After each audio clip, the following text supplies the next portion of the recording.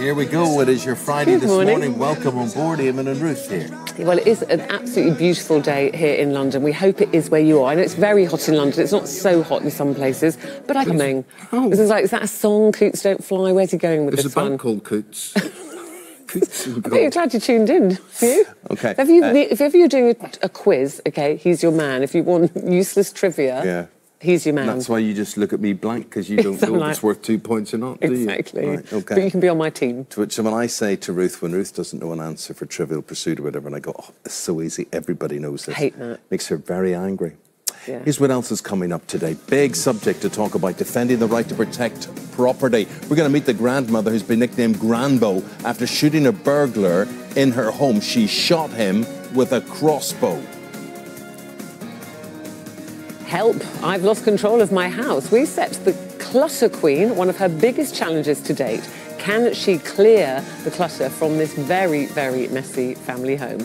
Oh, just set it all on fire. Look at it. Goodness me. Uh, feeling like she'd lost her identity. It's been a difficult year for the wife of Paddy McGuinness. Uh, that is Christine. Yes, she'll be talking candidly about her struggles with us at midday. Uh, also coming up this morning, My God, that's a rough lot if ever I've seen one. The state of him. This place is going right down market.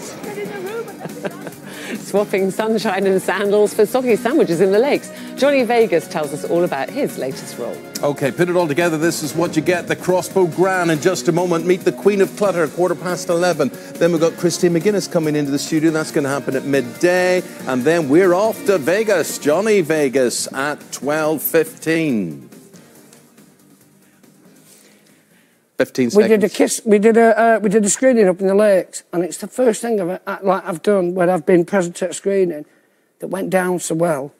So I really genuinely hope. That's- and that's like it nerve-wracking, isn't it? Isn't it? It Well, I hope you get a good I'm one. sure it will be. That's Johnny tonight. Vegas, thank, you. you. And, And I'll see night. you soon, Pooley Bridge, because I'm coming up tonight to watch the first episode with you. Have a good weekend. Enjoy the sun. Bye bye.